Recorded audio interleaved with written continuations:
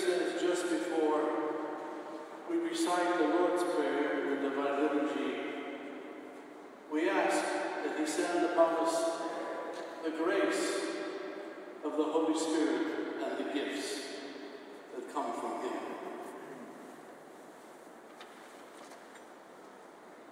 In St. Paul's letter to the Ephesians, he speaks about this. He says, Grace was given to each of us according to the measure of Christ's gift.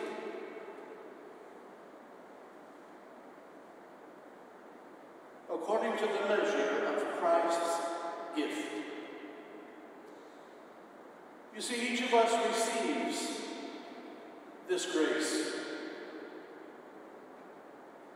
and these gifts. At the time of baptism that we pray that the Holy Spirit come upon the person who's to be baptized and receive the Holy Spirit. And in receiving the Holy Spirit, we receive these gifts, this great grace. But we do not receive it equally. Because in a sense we are all a little different. Christ knows each of us. Even before we were conceived. And from our mother's womb. And so this gift that he grants each of us through his grace is measured. It is measured according to what he understands to be our abilities. We all receive different gifts.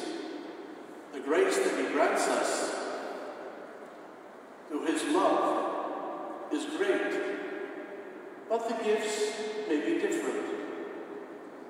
And we hear St. Paul speak about different aspects of the gift. Some are called to be apostles, and some prophets, some teachers, all of us given this gift of grace according to the measure that Christ decides. Because he is our creator and therefore knows each of our abilities.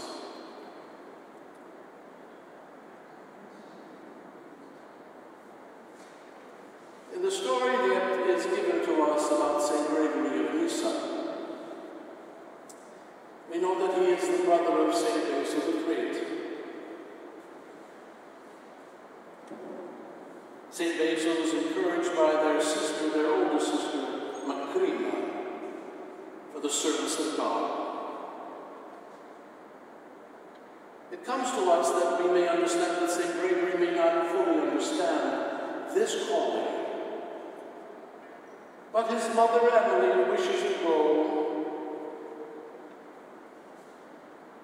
to the service honoring the 40 holy martyrs. St. Gregory, as we are told,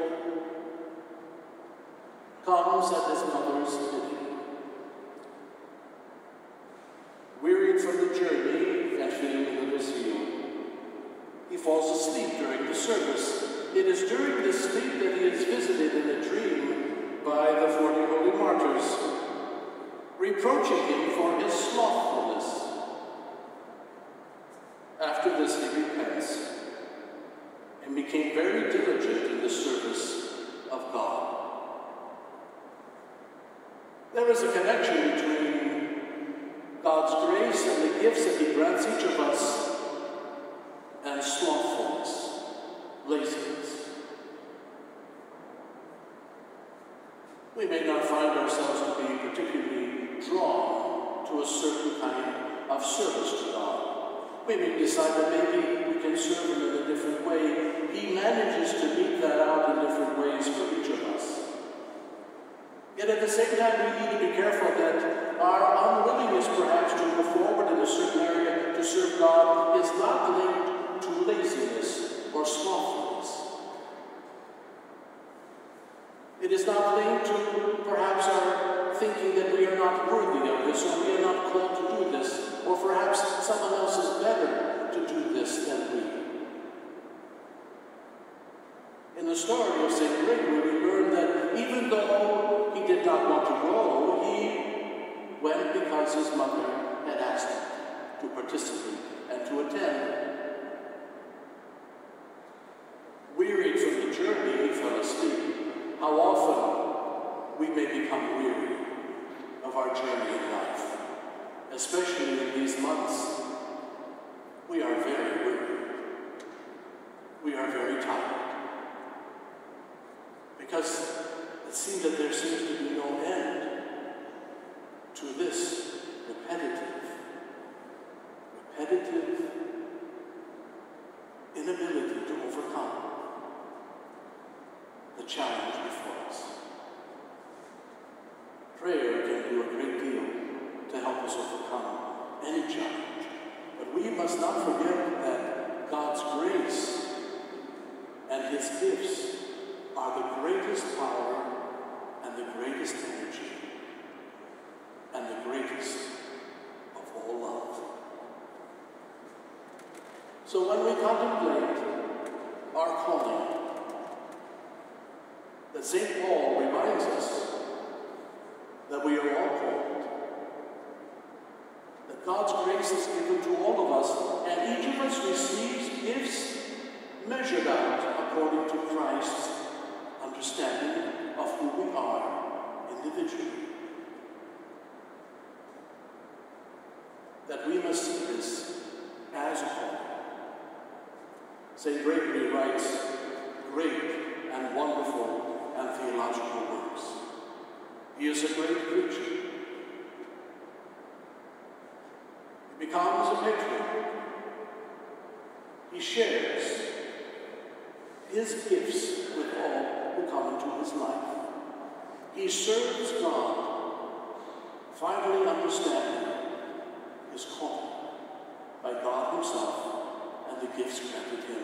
And we are the recipients of that great gift, that great intellect, that great faith, that great commitment.